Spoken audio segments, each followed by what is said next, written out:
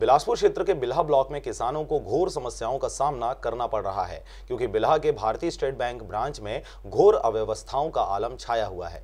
प्रदेश में भूपेश सरकार ने कृषि लोन को माफ़ कर दिया है। वहीं बिल्हा के एसबीआई बैंक के मैनेजर द्वारा किसानों को पैसा पटाने के लिए बार बार चेतावनी दिया जा रहा था, जिस पर किसानों द्वारा अपना कृषि लोन बैंक में जाकर जमा कर दिया गया। जिसके बाद राज्य शासन द्वारा बैंक में कर्ज पाते हुए किसानों का भी पैसा वापस करने बैंकों को निर्देशित किया गया था। भूपेश सरकार द्वारा किसानों के खाते में निर्धारित लोन के पैसा किसानों के खाते में वापस कर दिया गया है, लेकिन बिल्हा एसबीआई मैनेजर द्वारा लापरवाही लापरवाही बरतते किसानों को उक्त पैसों को वापस देने के लिए बार बार घुमाया जा रहा है। साथ ही फ़सल बीमा का पैसा तो खाते से काट लिया गया है, लेकिन फ़सल बीमा योजना का भी पैसा किसानों को नहीं दिया जा रहा है। और हफ़्ता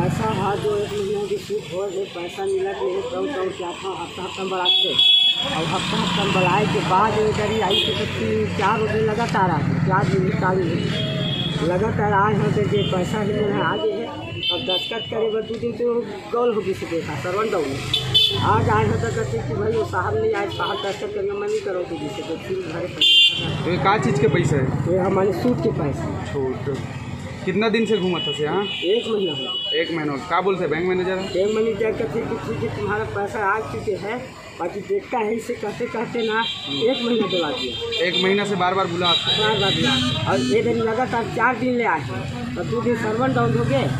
आज आए तो दस्खत करी आज साहब से तो ये एक महीने से आ रहे हैं सर तो इसमें क्या एक है एक महीने महीने का? एक महीने वाली कोई हमारे पास कोई स्टैंड आया नहीं है।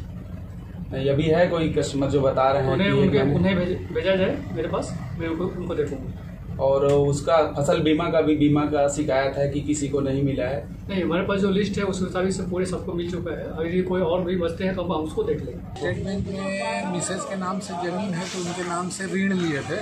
2017 में तो उस समय बीमा की राशि छः सौ पच्चीस रुपये काटा गया था जबकि पटवारी प्रतिवेदन पंचनामा भी दिया गया। उसके बावजूद आज तक के बीमा राशि प्राप्त नहीं हुई। तो बैंक मैनेजर से बात किए तो क्या बोलते हैं? मैनेजर से बात किए तो बोलते हैं हमारे यहाँ बीमा नहीं होता तो मैं बोला बीमा नहीं होता तो आपने ये राशि काटा क्यों? तो क्या जवाब तो कोई जवाब नहीं मिला उसका।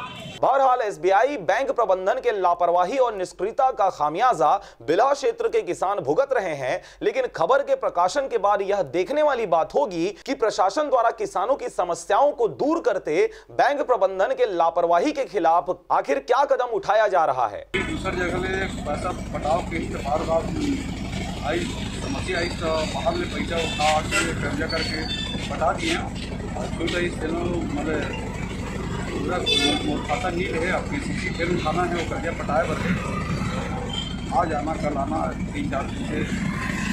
और कितना बार हो गया आवाज़ बैंक को तो? चार बार। चार बार हो गया। पैसा नए दिन जाना कोई उचित नहीं है बट ये है कि जो उनकी छूट आई है तो एक वो छूट का जो गवर्नमेंट ने फॉर्म भेजा है उसमें वो साइन कर देंगे और फिर जो जो रेस्ट अमाउंट से बढ़ा के नेक्स्ट टाइम उनको पेमेंट मिल जाएगा। बिला से मनहरण बंजारे के साथ राजकुमार यादव की रिपोर्ट, आरजे रमझाझर।